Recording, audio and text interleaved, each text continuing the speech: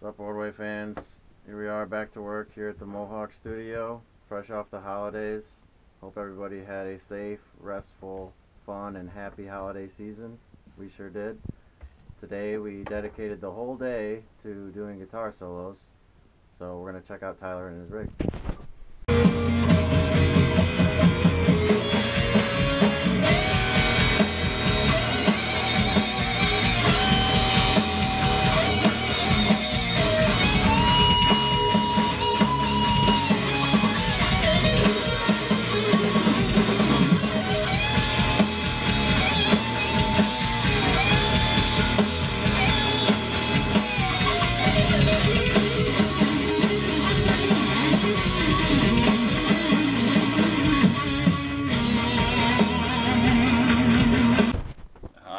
Up, guys?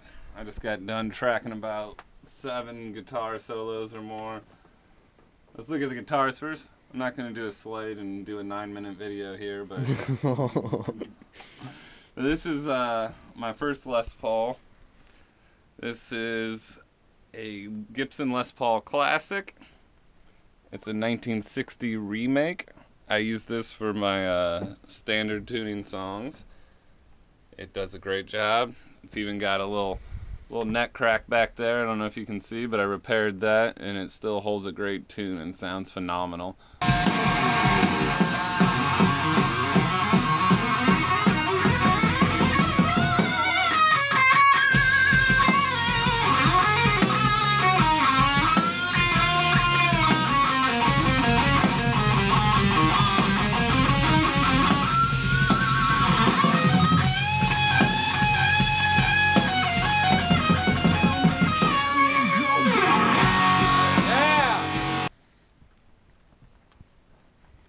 This is my 2012 Gibson Les Paul Pro 1, not the Pro 2 because the Pro 2 has active pickups and fuck that for a Les Paul. But this has a little bit darker sound, so I use it for the drop D songs and it sounds amazing. Is there like a tonal difference between the two? You said one was darker. Before, Yeah, this one this one just has a heavier sound to it. I'm I'm not sure why, it just does. And this one has a little bit more brighter sound to it.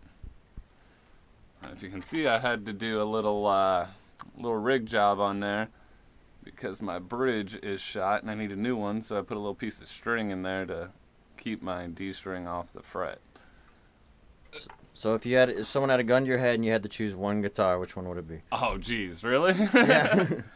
I have to choose this one because of the sentimental value. Yeah. I've this. I I, got this when I was a junior in high school, I believe, and it's been with me through the thick and thin, and It's a fine wine. it is. And you slap strings on it like I did today, and it just holds a tune.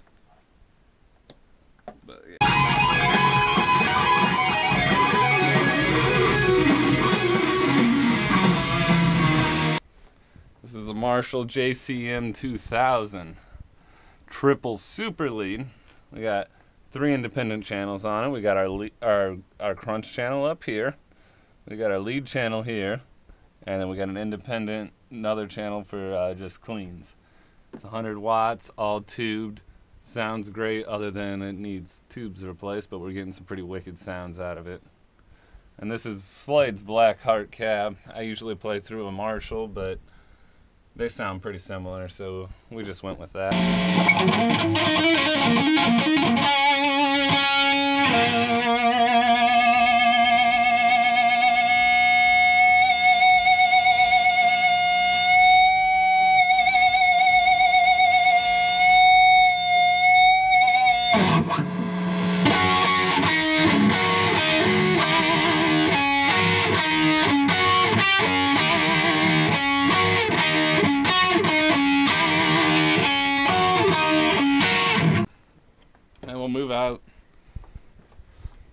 Out here because I like to play in the control room.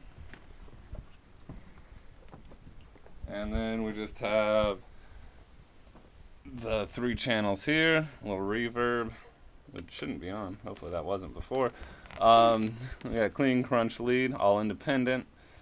We got the Cryba- Crybaby Classic Wah because it just sounds the best.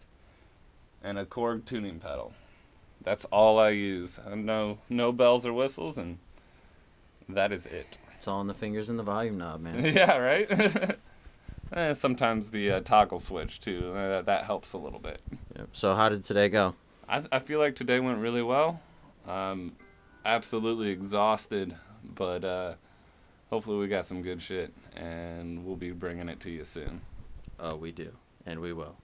Thanks, everybody. Stay tuned. Thank you.